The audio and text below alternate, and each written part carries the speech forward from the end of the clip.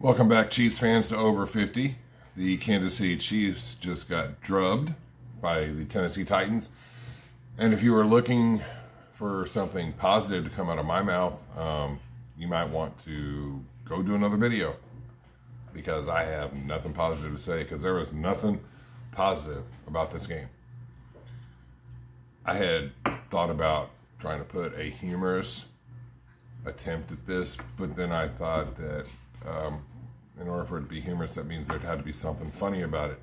There's nothing funny about it when the whole game from start to finish was a complete and utter disaster. And I'm cleaning up my language there because I could have probably used another word, but it would have probably irritated some people. But um, let's just start with the defense. Um, the defense was horrible for the most part. I mean, they held Derrick Henry in check, but um, unfortunately, they made Ryan Tannehill look like league MVP. I mean, they made Ryan Tannehill look like he's the new age Tom Brady or something like that. I mean, he was like 21 or 27. The only thing he had that he did wrong was Willie Gay kind of baited him into an interception at the end. I mean, Tannehill obviously didn't see him, and you know that was it. So I think that Steve Spagnuolo has coached his last game. I'm not going to say that it's all on Spags this game because everybody, oh, I've got a little bit for everybody. I've even got a little something for special teams, but I'll save that till the end. This whole game was, I mean, nobody did good. I mean, I'm not even going to get into the coaching of it, but the defense has been a problem since the beginning of the season. They appear to have fixed the stuff against a two and four Washington team with Taylor Heinicke at quarterback. And I'm sorry, but I told you one game does not a defense make. And our defense is not any good. So Spags needs to go. Um, Dave Toub is an assistant head coach and special teams coach. I say let him do both jobs for the rest of the season. I mean, he's been interviewed for head coaching positions.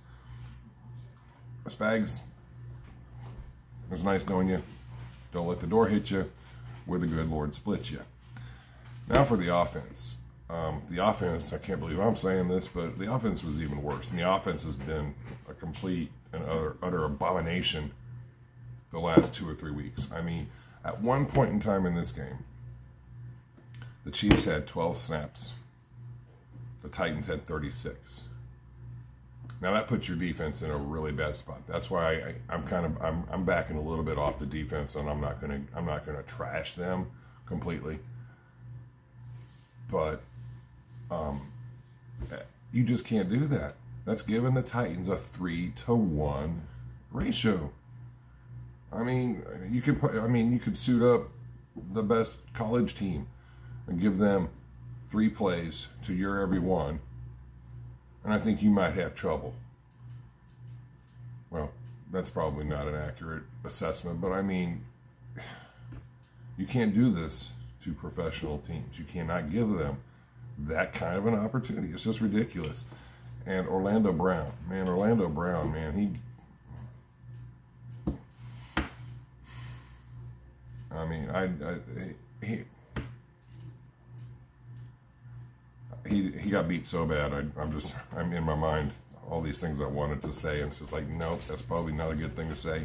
Nope, that's not a good thing to say either. I mean, you know, he just, I mean, you know what? He got beat down worse than Kimbo Slice did in that match when he was supposed to fight Ken Shamrock, and he had to fight some other guy, and that guy came out and ran towards him and went like this with his hands and that was it for Kimbo Slice. Down in like 11 seconds. He's got cuts all over his face and stuff. Orlando Brown got owned. And he's the left tackle of the future? Uh-uh. I'm sorry. Right now, um, I'm saying let's give that money to the Honey Badger. Let's give that to Tyler, uh, let's give that to Tyrann Mathieu.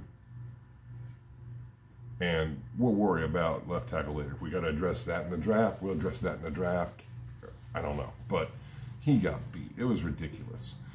Mahomes almost got decapitated at the end of the game. I mean, thank goodness uh, the last report I saw was no concussion. So he's not in concussion protocol. So that means he's available for the Giants game.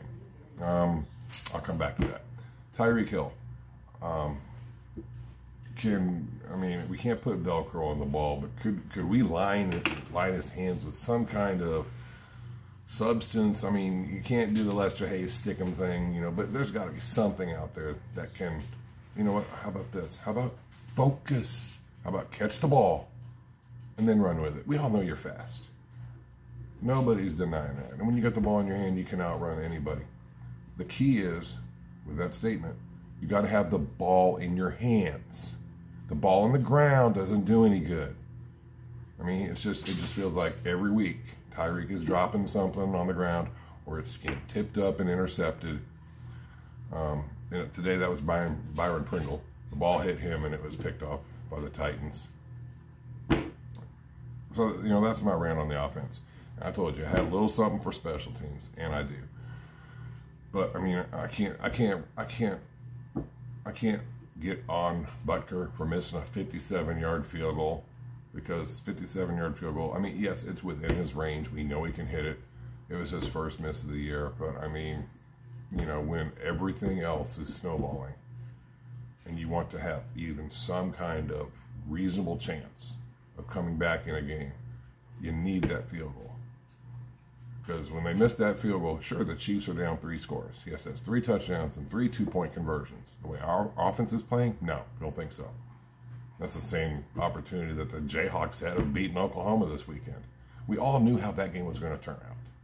You know, we all knew that Oklahoma had the had the horses at the end of the game. They were going to be able to be fine and pull it out, and they did. Right now, it's like uh, we don't know who our horses are. Our horses are tired.